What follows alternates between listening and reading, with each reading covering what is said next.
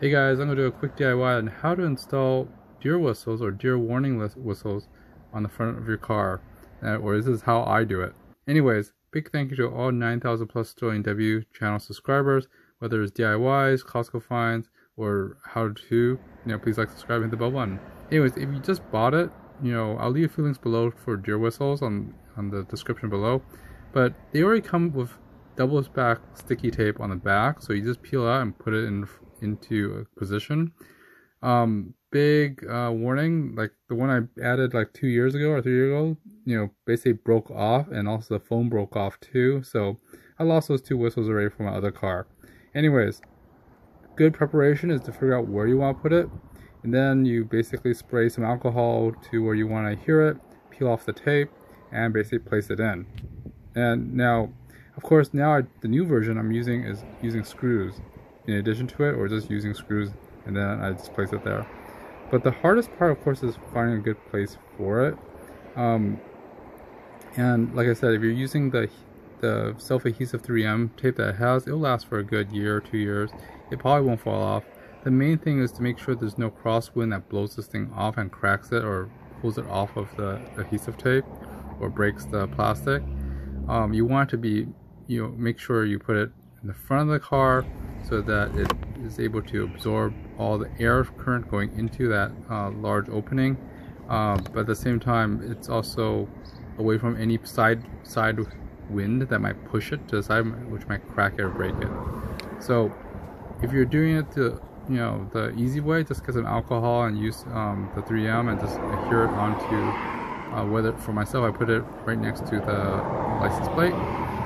At the same time, you know, you can also use the other method, which I'm doing now, is just using a drill bit and also get like a find a screw and also a.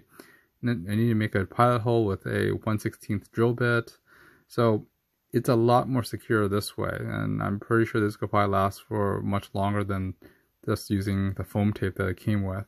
So I found myself some screws because it doesn't come with screws when the package I got, as well as I got 1/16th drill bit and if you don't know how to use the 116 drill bit, you could always basically wrap um, um, aluminum foil tape onto it. Aluminum tape, like for ducks, ducking and stuff. So that way you can use in your power drill to drill through it. it took me a while to figure that one out.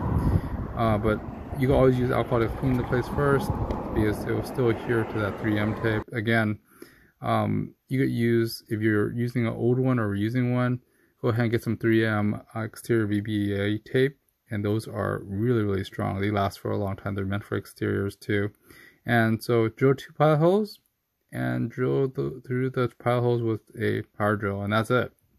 It's that simple. The main thing is finding good placement for it. So whether you put it next to your um, license plate like me or put it into where the air ducts are or the air dam is on the bottom it's probably a good place to put it as long as there's no side draft that might push it and break that, break the um, adhesive or break the um, the plastic. That's the best thing. These things actually slide in and out, so if you need to wash them or clean them, so that's the beauty of having a deer whistle.